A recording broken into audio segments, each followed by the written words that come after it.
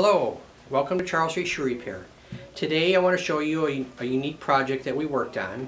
Um, normally we work on anywhere from cowboy boots to women's high heels and to men's dress shoes. But today what we got here are a pair of hip waders. And what these are used for are fly fishing or when you're going to be going into the ocean above your, your boots.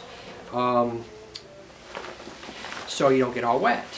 And what we did with these is we replaced the soles. And the reason we replaced the soles on these is up to a couple decades ago, all waders, hip waders came with, these are felt soles. Um, these are very grippy on wet rocks and mossy covered stones. The only problem with these is these are a porous material and they transport invasive species or microorganisms that once they come here they destroy the ecosystems and the fish so what we want to try to do is avoid that. Many states have already banned them um, like Alaska, Montana but there's some states that did ban them and now have cut the ban which is like Vermont so we have to see. Now salt water really doesn't matter they're just worried about the fresh water. So what we did is essentially take off the felt soles and replace them with some Vibram soles.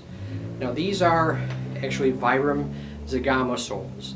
They're made with the Mega Grip compound and this stuff is very grippy on many surfaces. They're really, really nice.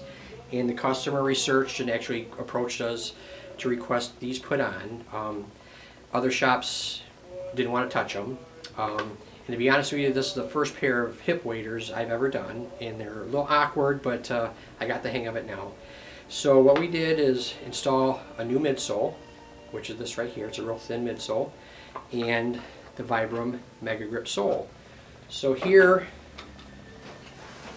are the finished hip waders. So there's a new Mega Grip sole. And you can see from the side, from all the different angles.